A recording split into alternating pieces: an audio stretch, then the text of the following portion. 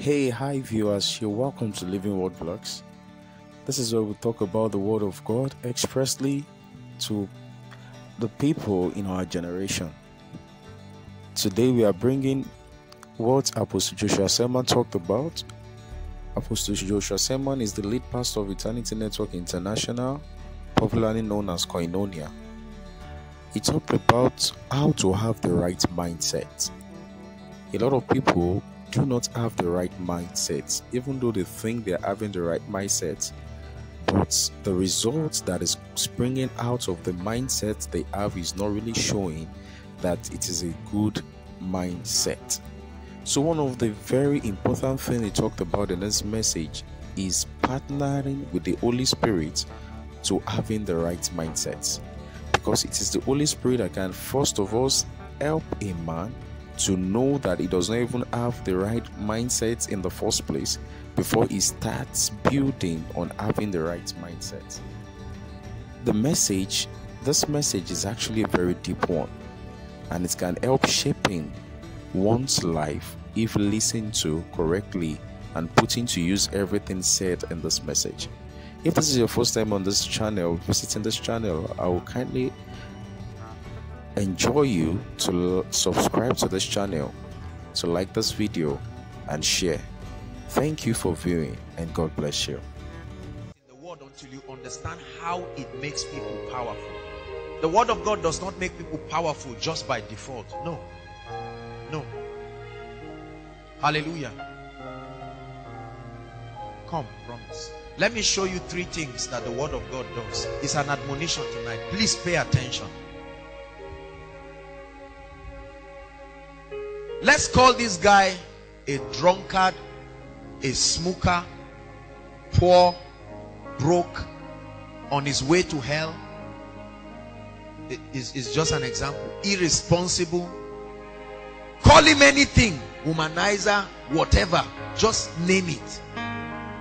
Watch this. This brother is the way he is. Listen to me. Because there is an ideology. Are you getting what I'm saying? There is a mindset that was enshrined in him either as a result of his past, as a result of his background, as a result of the influences around his life. So he grew up with certain convictions. And based on what he knew to be greatness, he grew up seeing other people smoking and drinking and sleeping around. And they felt like big boys. And he was attracted to their proposal of what they call greatness. And he permitted it to become part of his mindset. Are you getting what I'm saying now? He never, as he is right now from the example I'm giving you, he doesn't know, this gentleman, he doesn't know that there are laws in this kingdom. He does not know that life can be predictable. He does not know that it is up to him and the Holy Ghost to birth the quality of his life. He's waiting for mother nature. He's waiting for situations. Wondering why nothing seems to work. Hi. And then, listen, listen, listen, listen. Jesus Christ. The word of God comes. Watch this. When the word of God comes, the first thing the word of God does is to reveal to him the inferiority of his current position. Because you will never change until you are dissatisfied with where you are. Why should I change if I'm okay with where I am? Are you getting what I'm saying? So the Holy Ghost opens you up to a new horizon through the word. And you see that life can be lived at another level. That there can be a level of excellence which you have seen. And so this brother sits under an anointing like this. And listens to the word of God. And the word of God begins to challenge him. At first he will resist the word. Because the word of God will make him take responsibility for his current position. And we hate taking responsibility. That's why we love passing blames to demons. Is that true? We love passing blames to spirit entities and say they are the reasons. And now this brother is finding out that there can be a quality of life. And by the way, when he is alone after drinking and smoking and living life at a lower level, the truth is that in his secret place there is a cry. Are you getting my point? He wants a life higher and greater. I've spoken to all kinds of people, cultists, smokers, and the rest. There is none of them that likes their current state. It's just that they have become slaves to strongholds and ideologies. And the word of God comes. The word of God comes. And after the first message, this gentleman goes back with two ideologies.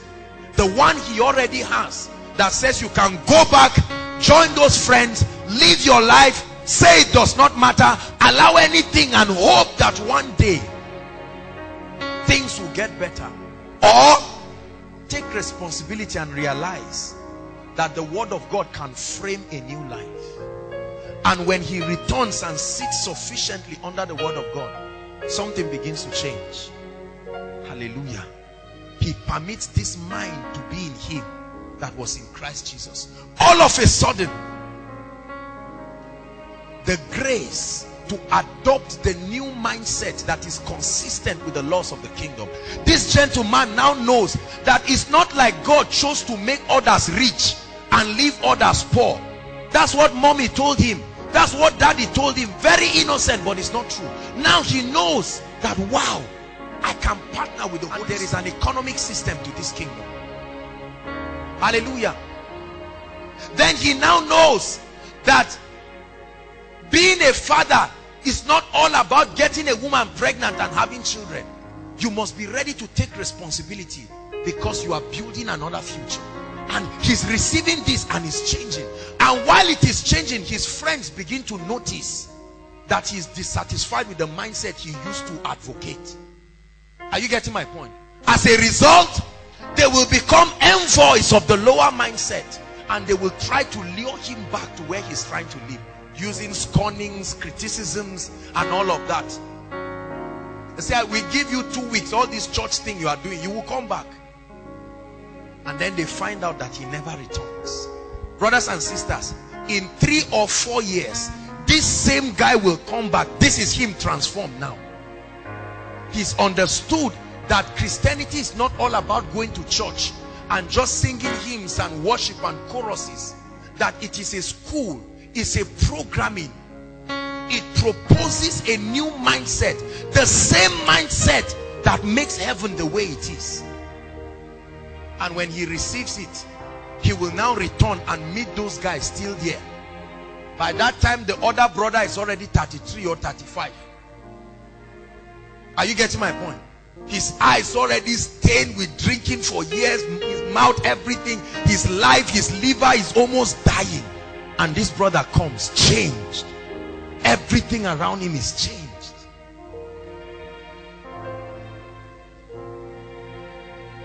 You can choose to remain where you are. You can choose to keep coming for koinonia and enjoy the euphoria of participating in an apostolic activity that God is doing in a territory. You can choose. Or can make up your mind and say lord every time i come to your presence i realize that there are two mindsets that war in me. And when i come i am ready to let my old ideologies die. It was because i believed them. Look at the way they made my life.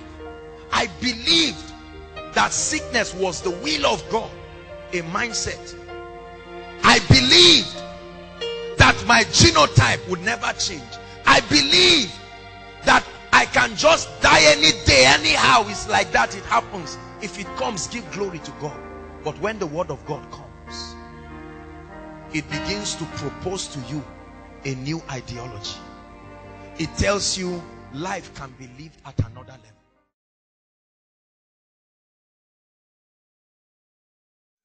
Hello, everyone. You're welcome back. I'm sure this message has blessed you in a lot of ways. And if you're deeply blessed by this message, I would like you to like this video and to share it. And leave your thoughts in the comment section below. And remember, having the right mindset is what you do with the help of the Holy Spirit. Because in ourselves, everything that we think is always right in our sight. But we need the Holy Spirit because the scripture says that the Holy Spirit will teach us all things and guide us into all truths. So, definitely, as the scripture says, the Holy Spirit will teach us all things and guide us into all truths. It will also guide us into having the right mindset into doing anything at all. Thank you once again for listening to this message. God bless you and bye for now.